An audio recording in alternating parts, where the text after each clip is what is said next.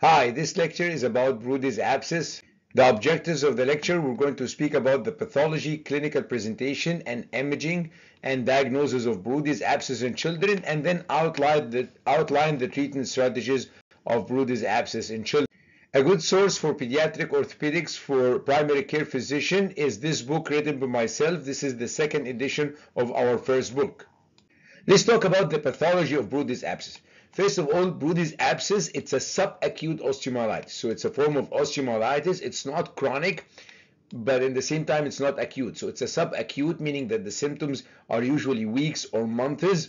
Uh, and it, uh, it's much more common in children. Uh, sometimes it happens in young adults, but it's much more common in children. There is no systemic manifestation, meaning that there is no fever, uh, no malaise. Um, uh, uh, all the systemic manifestation of acute infections are missing.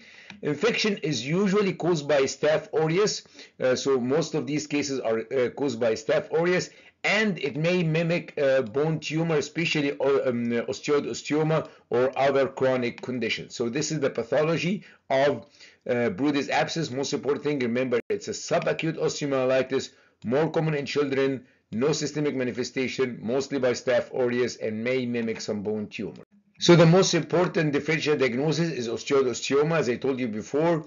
Um, other um, important differential diagnosis is stress fracture. It can give you a picture of uh, Brodie's abscess, or if there is like intracortical um, hemangioma or other rare uh, tumors. Um, however, the most important differential diagnosis is osteoid. So what is the clinical presentation? What will this child complain of? Most most important thing is localized bone pain. So he will complain um, of pain in the proximal uh, uh, tibia or uh, uh, pain in the femur. Um, as we said, there is um, usually no systemic manifestation, no fever, no malaise. Um, if these present, they are really minimal.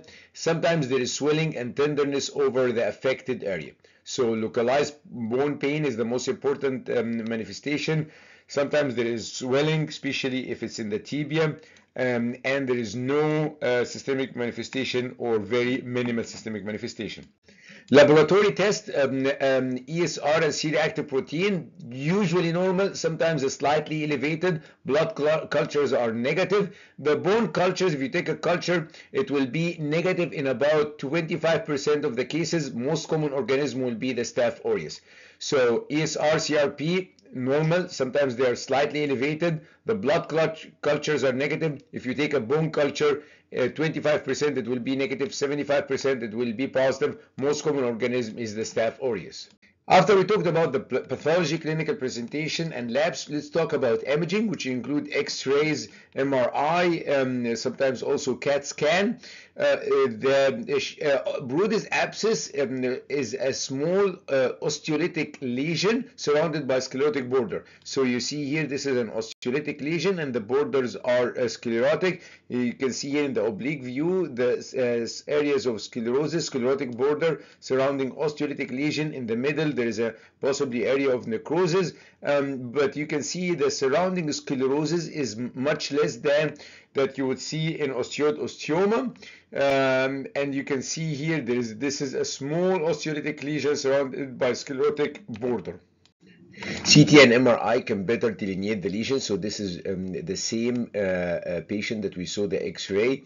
As you see here, um, actually this patient has what we call um, sinus, which is uh, very rare with the um, abscess, meaning that the Brodie's abscess uh, surrounded, as you see here, by a sclerotic border, but at one area it actually um, uh, communicated with the uh, um, tissues surrounding the bone, and you can see here this is the area of the necrosis. So this is the same patient here. This is another cut. Same thing here. So it's a, a osteolytic lesion in the bone uh, surrounded by uh, uh, well-defined border. And as I told you usually as we're going to see uh, in the uh, other examples the uh, Brodie's abscess is surrounded completely by sclerosis here in this area it is actually has a sinus be, be not external sinus but sinus meaning that uh, the lesion is connected with the tissues around the bone.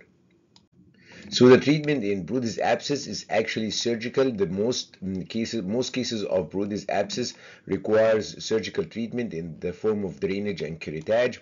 Um, they will also need antibiotic. Antibiotic alone um, is not sufficient in most cases of Brodie's abscess. As we said, this is not an acute, it's a subacute and surrounded by sclerotic uh, margin. Uh, so the blood supply to this area is not um, extensive. So most of the cases will require surgical uh, treatment in the form of drainage and uh, curettage. So here is a patient, one uh, of mine, a 10-year-old boy presenting with knee pain and swelling, uh, has been going on for a few weeks. Uh, if you see here closely, there is a small osteolysis surrounded by sclerosis. You can see it more obvious in the AP. Um, uh, you can see the sclerosis here um, surrounding a, small osteolytic area. Of course, that's not very obvious. Um, as I told you in the MRI, you can see the lesion much um, uh, uh, easier. So here is this is the lesion here, um, area uh, of inflammation uh, surrounding central necrosis. So this is a Brodie's abscess. Um, it does not look an like an osteoid osteoma. Uh, um, you can see here the the edges are not very smooth. so this is here a this abscess and the treatment as I told you is a surgical debridement um, in order not to injure the growth plate we went from uh, down into a very small area of the growth plate and we curated the lesion as you can see here in this slide. Another similar example, one of my patients, 12 year old, um, uh, you can see here uh, this patient presented with knee pain for a few months. If you look closely here, there's like a small osteolytic area surrounded by uh, uh sclerotic uh, uh, well localized border. you can see it here. It's not very obvious, but it's definitely there is a small area of osteolysis here. So we got an MRI which show obviously the lesion. You can see the MRI in the old views here. This is a, a, a, a edema surrounding uh, uh, a small area uh, of infection here. You can see there is a very small area of central necrosis. Um, you can see the surrounding uh, border and the inflammation. You can see the edema around it. Um, this uh, definitely looks like a Brodie's abscess. It's not osteoblastoma. Um, it's not the very small localized lesion with an area in the center, and it's not uh, uh well rounded. It's this is definitely looks like a Brodie's abscess.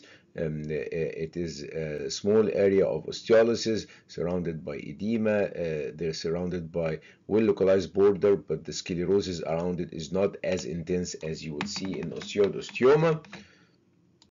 And this patient also had the same treatment as I showed you before. We localized the lesion under the C-arm in surgery and then we did debridement for this patient, which is, as I said, the main treatment for Brodie's abscess is surgical treatment by debridement. Very rare. It can be just treated with antibiotic. Thank you for listening and all my videos are for educational purpose only. Please consult your doctor before any decision.